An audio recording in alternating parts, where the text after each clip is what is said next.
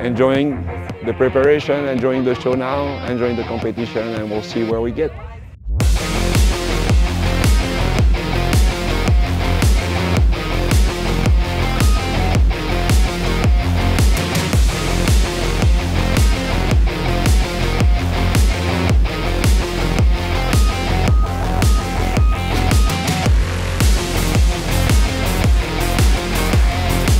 I jumped pretty well. I did my PB, my personal best, and also I did my personal best in overall.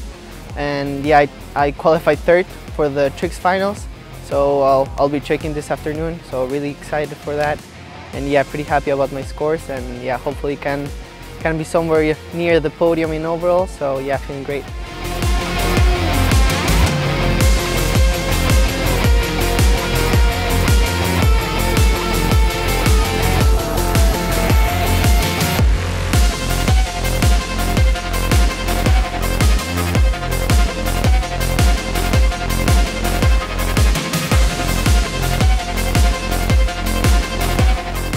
This is the second time I've ever won the World Championships. Um, so my, the first time was in 2013, so it's been 10 years, so definitely very excited. Um, and yeah, just couldn't be happier that I was able to put it together out there on the water.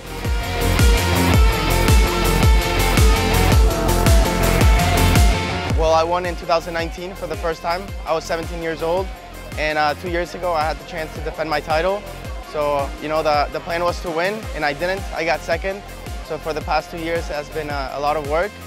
And yeah, the, I mean, the hard work pays off and I'm super happy right now.